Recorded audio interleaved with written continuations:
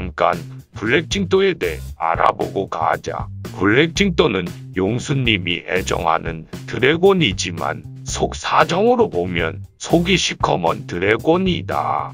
2015년 출시한 몬스터 빌리지라는 게임에서 이벤트용으로 출시했는데 어떤 알 수 없는 이유로 게임이 사라지면서 블랙징또도 사라졌었다.